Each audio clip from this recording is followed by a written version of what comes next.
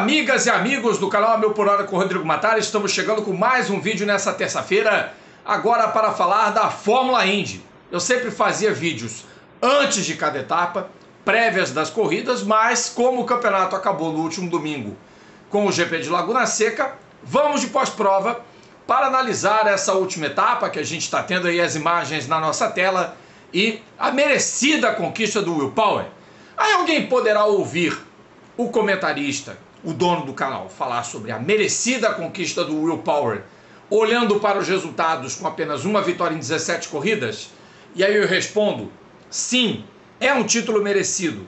Por quê? Porque foi a melhor versão de Will Power dos últimos anos. A melhor versão desde 2014, quando ele foi campeão pela primeira vez da Fórmula Indy. Um intervalo bem grande entre o primeiro e o segundo título do piloto australiano de 41 anos, que no sábado, véspera da corrida, quebrou o recorde de pole positions do Mario Andretti. Então, o Will Power é um piloto de números superlativos. Tem 41 vitórias, 68 pole positions, quase 100 pódios e agora dois campeonatos. É claro que ele ficou marcado por ter perdido é, outras oportunidades de título, Perdeu o título para Dario Franchitti, perdeu o título para Ryan Hunter Ray. Quem diria que Ryan Hunter Ray foi o único nos últimos anos a quebrar a sequência de títulos de Penske Ganassi dos últimos 15 campeonatos disputados. Ganassi e Penske ganharam juntas 14. Com a Penske levando seu quinto título nesse período apenas, sendo que é o 17 da equipe na Fórmula Indy, o 42 do time que tem 56 anos de ou, ou, mais de 60 anos ou praticamente 60 anos de fundação. Acho que é mais ou menos a mesma a, o mesmo período de existência que, por exemplo, que a McLaren. A McLaren vai fazer 60 anos de fundação e a Penske também. É mais ou menos isso aí que o time de Roger Penske tem de existência. E é uma equipe vitoriosa e provou isso nessa temporada. Foram nada menos que nove vitórias em 17 provas dos seus três pilotos, apenas uma do Will Power, mas um campeonato com grande regularidade, com muita constância, com muito menos erros, com grandes corridas de recuperação. Tem três provas dele que são antológicas e a defesa da liderança e o posterior título conquistado nesse domingo, numa corrida onde ele teve uma certa dificuldade para manter o carro na pista, mas foi uma prova tranquila.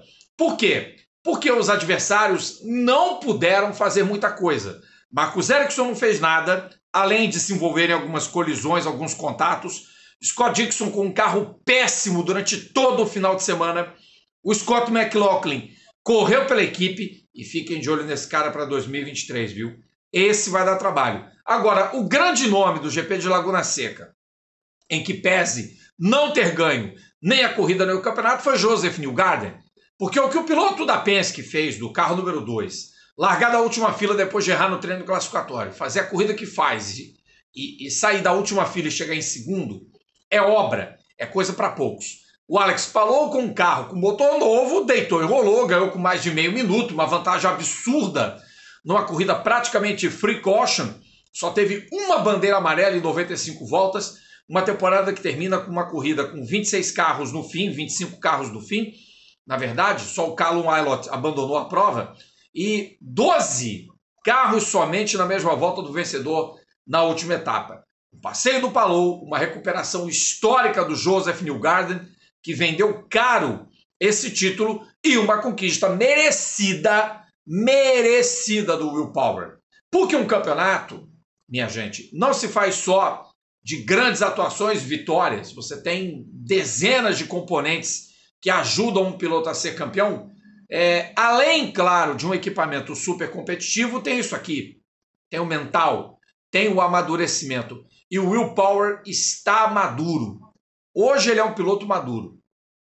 Deixou para lá, deixou para lá, deixou para trás aquela situação de explosão é, que vocês devem se lembrar de New Hampshire, onde ele mostrou o dedo do meio para o diretor de provas, Brian Bonhart, hoje estrategista, ou agora ex-estrategista do Alexander Rossi na equipe Andretti.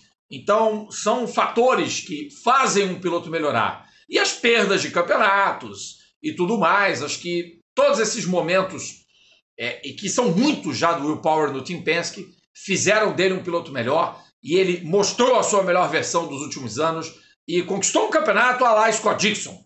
Podemos dizer assim, um campeonato calcado na base da regularidade, um campeonato calcado na base de um potencial fortíssimo explorado, tanto que o Power e o Dixon foram os únicos pilotos ao longo desse ano de 2022 que terminaram todas as provas na mesma volta. Todas. Mais de duas mil voltas percorridas pelos dois. É, e o Dixon, o único dos últimos anos a terminar todas as voltas dos dois últimos campeonatos. Ele fez isso em 2021 e faz isso de novo em 2022. No fim das contas, o Palou terminou a temporada na frente do McLaughlin e na frente do Marcos Ericsson. Fecha o ano, portanto, como quarto colocado da série. O Joseph Newgarden foi um vice-campeão, de certa forma frustrante, mas de cabeça muito erguida. E o Scott Dixon ainda tem muita lenha para queimar. Veremos um campeonato ainda melhor em 2023. Tenho certeza de que a Fórmula Indy não nos decepcionará no último ano antes da nova regra técnica dos motores hibridizados com os sistemas de baterias com recuperação de energia nos carros da categoria e mais potência. Serão 150 cavalos a mais nos carros de 2024, essas verdadeiras bestas feras da Fórmula Indy. Eu quero terminar este vídeo agradecendo a todo mundo do canal por ter assistido o nosso conteúdo de Fórmula Indy, a todo o público que acompanhou todas as nossas transmissões na TV Cultura e foram 18 corridas, foram 18 transmissões, 17 etapas, mais a transmissão do Fast Six da Indy 500 esse ano, transmitido de forma inédita. Agradecer a toda a equipe técnica da TV Cultura, todo o pessoal da Fundação Padre Anchieta, toda a diretoria, ao Willi Hermann, ao Carlo Gânsia e um agradecimento especial às pessoas mais próximas de mim ao longo desse período é, desses últimos dois anos que a gente tem trabalhado junto. Eu não fiz a temporada completa em 21, mas essa foi a minha primeira. Graças a Deus a gente resistiu aí ao Covid, às vacinas. Tomem as vacinas. Obrigado, Vladir Lemos, diretor de esportes da casa. Obrigado, maestro Carlos Gomes, nosso coordenador de transmissões. Obrigado ao produtor Felipe Lesse. E meu muito obrigado, meu muitíssimo obrigado ao meu parceiro de transmissão, Jefferson Kern, esse craque das transmissões, essa nova voz, essa grande revelação das transmissões de jornalismo, de, de automobilismo, de esporte, enfim. Jefferson, você é gigantesco e você vai longe, vai muito longe. Eu te agradeço muito pela parceria, pela paciência. Se alguma vez eu acabei dando bancada nas transmissões ou não estava muito bem, mas isso faz parte.